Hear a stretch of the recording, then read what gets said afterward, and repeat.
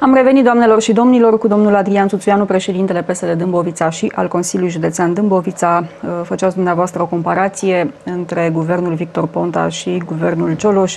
Spuneați că mm, măsurile luate de actualul guvern Uh, nu ar conduce la o simpatie, așa, în rândul populației față de, de actualul executiv.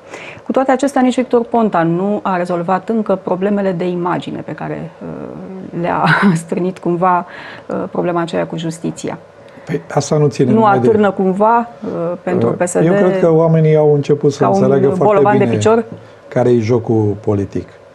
Uh, din păcate, Victor Ponta a intrat într-o, într-o discuție de natură juridică, eu cred că nemeritat, eu chiar cred în nevinovăția lui Victor Ponta și în capacitatea lui de a dovedi că nu are niciun fel de, de problemă, dar asta ține și de administrarea justiției. Nu poate Victor Ponta să-și dea mâine o hotărâre judecătorească să spună că e alb sau negru. Sunt proceduri legale în curs, sunt probe de administrat, Instanța are datoria să le administreze nemijlocit, deci nu pornește de, doar de la cercetarea făcută de Parchetul Național Anticorupție, uh, dar eu cred că uh, opinia publică a receptat ceea ce a făcut bun Victor Ponta și uh, are cel puțin o parte a opiniei publice care semne de întrebare legat de procedurile judiciare care sunt în curs. După cum sunt foarte mulți dintre cei care au votat împotriva lui Băsescu, care în niciun caz nu condamnă pe Liviu Dragnea. A condamnat o instanță de judecată, da, dar... Se merge pe ideea că oamenii uh, uită repede și nu, uh, oamenii nu informația uită de... de ultim moment este uh, cea luată Oamenii nu au uitat. Mai puțin ce a condus la nu. situația Oameni, de față. Oamenii, vorbesc de cei care au suportat până la urmă greu crizei economice, n-au uitat de guvernarea Băsescu-Boc, Uh, n-au uitat cine-i PDL-ul, n-au uitat, vă asigur eu, că PNL-ul de astăzi e PDL-ul de ieri și, practic, uh, din ce era PNL-ul, care noi ne-am asociat în 2010 în mulțele, a rămas astăzi doar o siglă. Uh, nu Toate funcțiile de conducere sunt preluate de cei din Partidul Democrat Liberal, de echipa lui Băsescu. Nu este o greșeală că domnul Dragnea continuă să rămână președintele PSD în ciuda Era... verdictului pe care l-a primit? Deci, în primul rând, domnul Dragnea, v-am spus, nu este condamnat de cei șapte milioane și jumătate de oameni care au fost la vot. Au vrut Poate să... au reevaluat mulți dintre ei nu, situația. Nu, nu. Al doilea. Nu s-a confirmat ce a spus doamna Macovei. Milioane de voturi fraudate. Are reușit din acest dosar că sunt 40 din vreo 7-6 de persoane trimise în judecate care au făcut niște nereguli care nu au niciun fel de influență pe rezultatul final. Uh, în al treilea rând, Uh, Liviu Dragnea îndeplinește condițiile de integritate prevăzute de statut și condițiile prevăzute de lege pentru o candidatură, pentru că nu are niciun fel de interdicții și nu a fost condamnat pentru fapte de corupție. Și în al patrulea rând, cea mai proastă soluție, și o, să citim, uh, nu să o luăm așa, de, în istorie, să ne ducem la uh, celebra carte Arta războiului, scrisă de un chinez. Spune că niciodată nu schimb general în timpul luptei. De aceea noi am luat o decizie fermă uh, legat de atitudinea fostului nostru Nici coleg, generalul uh, se lovește de anumite contestații venite din Niciodată în timpul luptei. Publice. Niciodată în timpul luptei. Putem discuta despre domnul Dragnea, dar lucrurile astea le putem face după ce am terminat competiția de la locale. Avem nevoie de unitate în partid acum și lucrul ăsta nu spun doar eu toți liderii de organizații județene au avut o aceeași atitudine față de domnul Zgonea. De asta, ați, de, asta și vedeți foarte bine. De asta ați nimeni, decis să-l dați afară pe domnul Zgonea? Nimeni nu a plecat după Zgonea. Uitați-vă că e prima dată Ce s-a întâmplat acolo? De fapt, domnul Zgonea a spus niște lucruri pe nume și asta a iritat cumva conducerea PSD sau voia cumva să ia locul domnului Dragnea și din nou a iritat conducerea PSD? În primul rând Sau că... și una și alta? Nu, sunt niște lucruri acumulate în timp, nu are nicio legătură cu ce spune dânsul că e un delict de opinie. Uh, vreau să știți, nu știu cât s-a spus la în presa națională, Liviu Dragnea n-a participat la dezbateri. Nici nu cred că trebuie. Așa. Uh, deci a fost o discuție condusă de secretarul general al partidului, uh, o discuție în care s-au exprimat toți președinții de filiale. Toată lumea a fost de acord că ieșirea domnului Zgonea n-a făcut decât rău partidului, noi nu putem să ne propunem să avem o competiție internă cu o săptămână înainte de startul oficial al campaniei electorale. Toată lumea a considerat că domnul Zgonea a profitat de o anumită împrejurare pentru a încerca să-și ajudece direct sau indirect conducerea partidului. Erau și acumulări de nervozitate în grupul de la Camera Deputaților legat de prestația domnului Zgonea în calitate de președinte al Camerei și de modul în care tratează de multe ori parlamentarii sau grupul parlamentar, care l-a susținut și l-a promovat, pentru că n-a ajuns președinte al Camerei Deputaților doar pentru că e băiat frumos și înalt, ci pentru că a fost susținut de o echipă politică. Și sigur că erau și foarte multe uh, nemulțumiri care au fost și exprimate, de exemplu de doamna Firea, uh, discuții făcute pe la diverse ambasade prin Partidul Socialiștilor Europeni, uh, în care a avut uh, uh, exprimări sau atitudini care nu erau ale partidului, erau opinii personale pe care a încercat să le impună ca fiind opinii ale Partidului Social Democrat. Uh, de aceea, domnul Zgoana n-a fost urmat de nimeni și nu-i regretat de nimeni. Vedeți foarte bine cât de rapid s-a stins uh, discuția legată de cazul Zgoana în patru zile. Pentru că n-a avut cine și cu ce să o alimenteze. Uh, am fost martor și când Joana sau Evanghelie au plecat din Partidul Social Democrat, tot excluși. Atunci am avut și abținere, am avut și voturi împotrivă. Au fost și comentarii, au fost și niște parlamentari care au mers după Mircea Joană. Sigur că unii și-au revenit după vreo două luni că s-au lămurit că au mers degeaba, dar a fost cu totul alt context. Aici nimeni nu i-a sărit în apărarea de domnului Zgonea. Ceea ce arată că uh, partidul știe la momente dificile să aibă o anumită fermitate și în același timp să aibă unitate. Dacă PSD nu va înregistra scorul la care se așteaptă cel care va pleca primul va fi domnul Dragnea?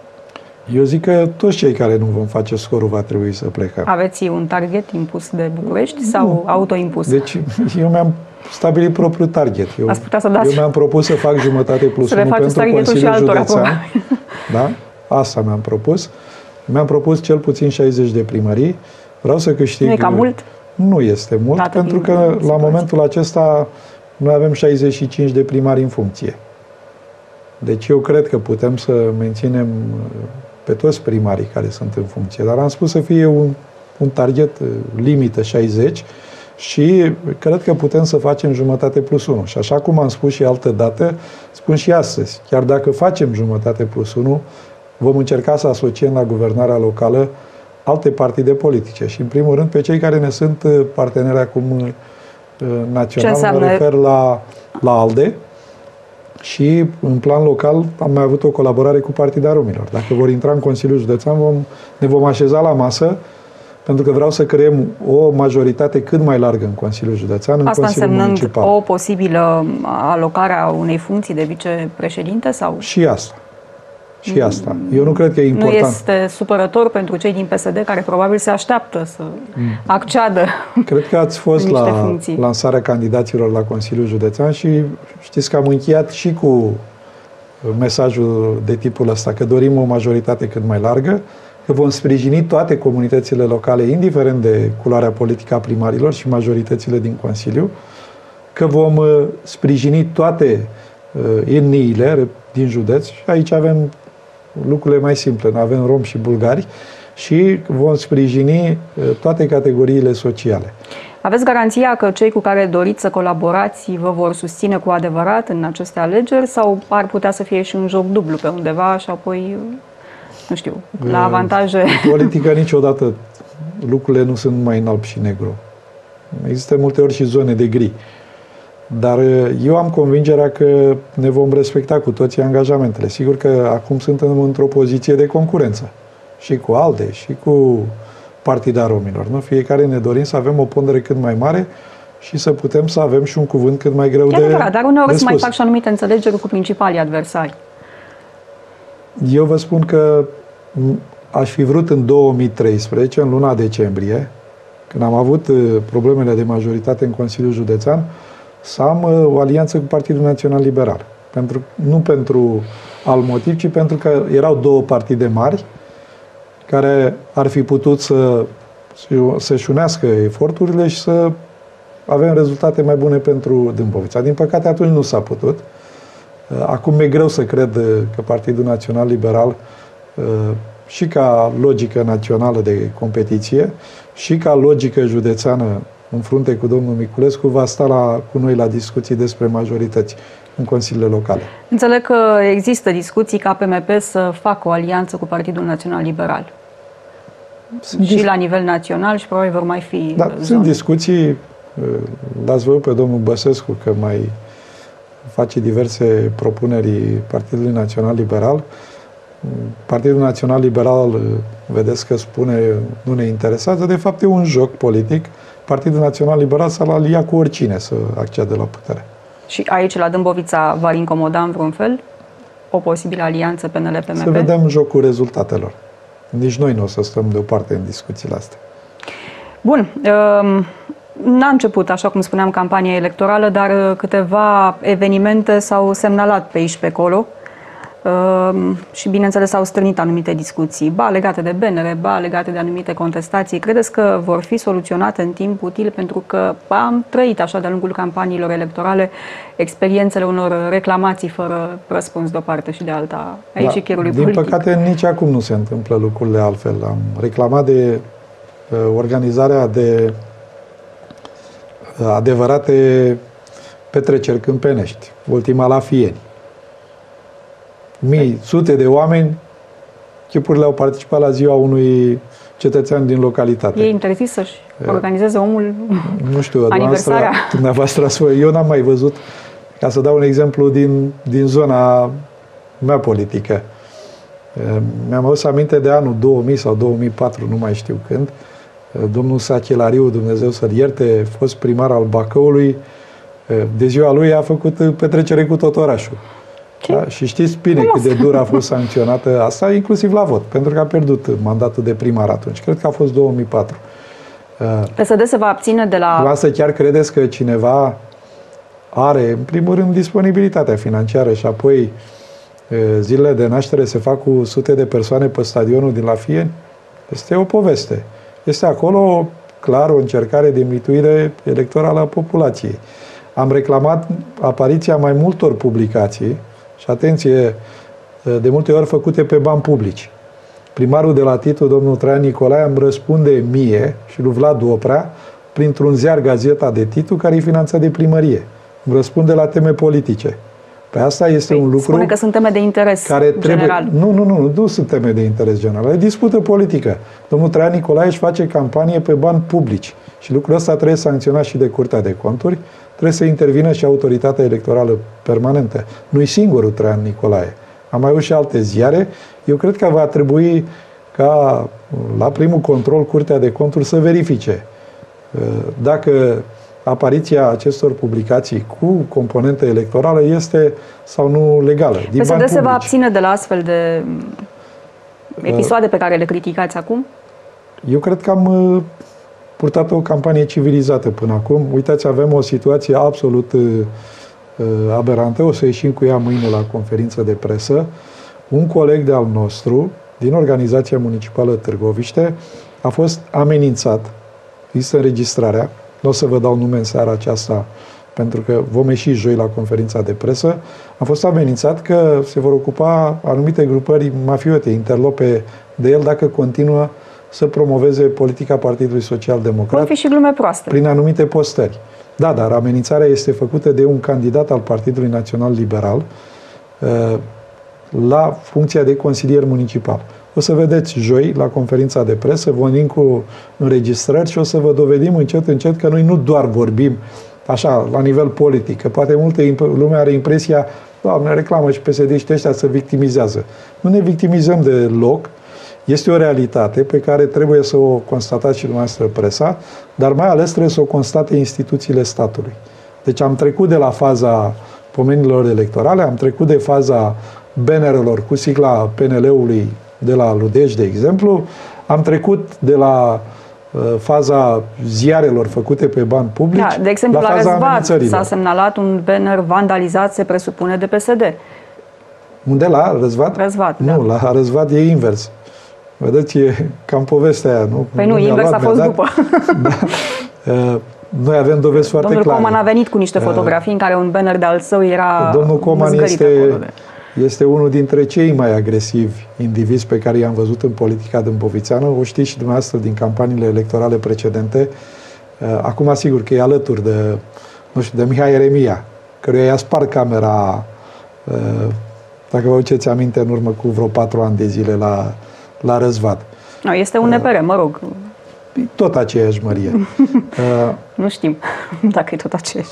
La răzvad, noi am produs probe concrete că vedeți că nu toți interlopii sunt uh, Bun. orientați. S-au dus să rupă benere și să au intrat și pe proprietatea Semnalați colegului meu Oprea. Uh, niște situații. Uh, cea cu amenințarea, nu știu dacă, nu cred că este o glumă și nu ar trebui nu să este se o glumă, o să vedeți mâine aici. că nu este o glumă. Dar ce se întâmplă în condițiile în care, să zic, se semnalează? Organele de cercetare sunt avertizate, sunt puse la dispoziție probe și iată, nu se eu, iau măsuri eu niciodată nu, în viața asta. Eu nu cred că stau chiar degeaba, eu sunt convins că vor interveni și mi-aș dori ca și dumneavoastră să se intervină rapid. Pentru că dacă s-ar pune punct, ar fi sancționați primii care au făcut o petrecere cu 400 de oameni sub pretext că își serbează ziua, am avea un... n-ar mai face alții. Dacă bannerele le-ar fi dat fi sărbătoriți jos, pe acolo. autoritatea electorală permanentă și biroul electoral județean le-ar fi dat jos, sigur că a doua zi n-ar mai fi pus nimeni altele. După cum dacă se va interveni rapid cu situația de la Răzvat și cu amenințările la adresa colegului meu din Târgoviște, uh, vă spun că a doua oară nu se va mai întâmpla așa ceva. Important e ca instituțiile statului să intervină în timp real pe toate situațiile reclamate. Crezi că tensiunile vor fi escaladate și se va ajunge la situații mult mai grave în această perioadă? Pentru că, iată, se pare că uh, dorința de a câștiga ne face să credem că sunt posibile orice mijloace de a ajunge acolo. Eu cred că va fi totuși o campanie tensionată, mai ales în anumite localități. Și vă dau exemplu de la Uli. Partidul Național Liberal are un candidat cu privire la Tița Bogdan. Noi am venit în presă, am arătat cine e Tița Bogdan. Cercetat într-un grup infracțional cu care are bordeluri prin Turcia, acuzat de sequestrare de persoane, oameni care uh, sunt uh, uh, cu infracțiuni săvârșite la regimul armelor și muniților, uh, care au exercitat șantaj asupra unor fete uh, sau le-au sequestrat. Asta e grupul din care provine. Săptămâna trecută uh, a fost cât pe aici ca la Dumbrava să se producă o ciocnire violentă între cei care susțineau Partidul Social Democrat și cei care susțin pe acest Tița Bogdan, candidatul Partidului Național Liberal. Deci cred că vor fi zone unde vom avea probleme deosebite, noi o să le sesizăm tot instituțiilor statului, pentru că eu cred că poliția trebuie să fie acolo când au loc manifestări electorale, fie acolo și să asigure măsurile de ordine. Noi nu avem nimic de ascuns și nu spunem nimic altceva dacă e poliția sau nu e poliția. Spunem aceleași lucruri, facem aceleași lucruri, dar eu sper totuși să fie o notă generală de civilizație, de competiție desfășurată în niște limite ale sportivității, să, să zic așa, și aș prefera să avem ceea ce nu prea am avut niciodată în România, o dezbatere de programe, de idei. Eu aș vrea să discut cu contracandidatul meu, cu domnul Miculescu, sau cu domnul Chițescu de la PMP sau Dacă știu, lansați cu domnul niște Georgica invitații, probabil vi se Dumitru, va răspunde. De la ALDE, să discutăm despre proiectele de dezvoltare a acestui județ. Noi am venit cu un proiect foarte articulat, i-am spus Dâmbovița 2025, un proiect pe 10 ani de zile, care să uh, țină, să asigure dezvoltarea județului. L-am definitivat zilele acestea, o să-l și publicăm, o să și dăm uh, pliante cu ceea ce propunem noi dâmbovițenilor pentru următorii 10 ani de zile. Eu cred că aici ar trebui să fie zona de dezbatere și cetățenii să aleagă ținând cont de ce spunem fiecare și nu decât de dar uh, ar fi important de văzut suntem. unde am ajunge în 2020, de exemplu, la nivelul uh, dezvoltării. Veți găsi în oferta pe care eu am propus-o ce terminăm pe ani, 2016, 2017, 2020, 2022, 2023, 2025.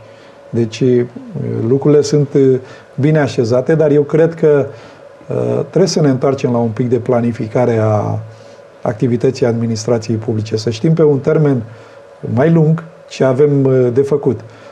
Poate nu suntem pregătiți astăzi să discutăm de ce avem de făcut pe 20 de ani sau 25 de ani, Dar pe un interval minim de 10 ani, două mandate uh, de președinte, eu cred că trebuie să știm ce avem de făcut. Uh, înregistrăm această emisiune uh, la o oră mai devreme decât cea obișnuită pentru difuzarea ei, așa încât nu știm un răspuns în legătură cu modalitatea de alegere a primarilor, dacă va fi într-un tur sau în două tururi. Sunteți pregătit sau pregătiți pentru ambele variante?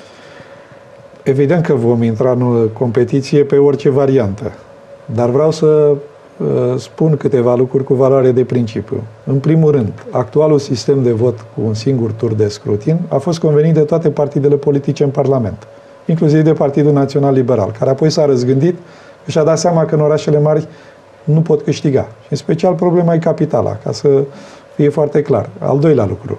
Partidul Social Democrat nu s-a opus vreodată votului în două tururi de scrutin. Până la urmă, în 2012 am avut un singur tur de scrutin, în 2016 un singur mhm. tur de scrutin. Până acum s-a candidat, nu? Din 92 până în 2012 pe două tururi de scrutin.